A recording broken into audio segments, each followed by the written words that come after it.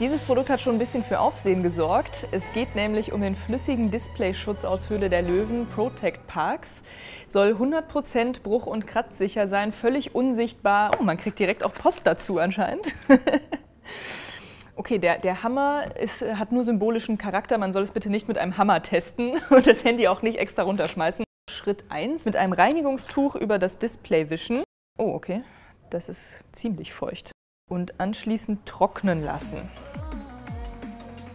Ja, ist getrocknet, geht relativ schnell, paar Minuten. Ähm, dafür haben wir jetzt hier irgendwie hässliche Schlieren auf dem Handy. Jetzt kommt die, die Flüssigkeit, die das Display schützen soll. Ist hier in so einer Kartusche drin.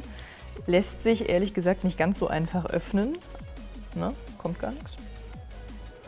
Muss man da noch irgendwas aufmachen? Das muss man anscheinend irgendwie, also wenn man das da reinschiebt, dann läuft es raus. Wird wahrscheinlich jetzt alles gewesen sein. Das heißt, wir reiben das jetzt mit dem Trockentuch ein.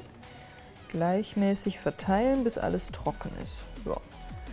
Ja. Ist auf jeden Fall ordentlich viel Flüssigkeit. Oh Gott, wie lange muss man da denn jetzt reiben? Das dauert ja Ewigkeiten. So, das sieht ja jetzt schon mal ganz gut aus.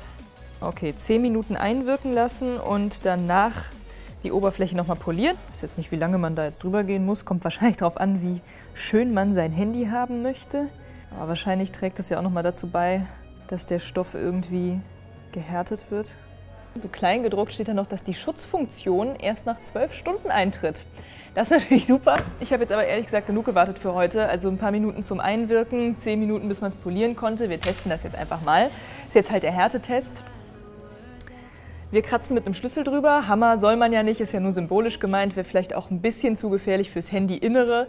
Deswegen versuchen wir das mit einem Schlüssel. Aber, also ich muss sagen, ich gebe mir jetzt schon Mühe. Ich sehe ich seh keinen Kratzer.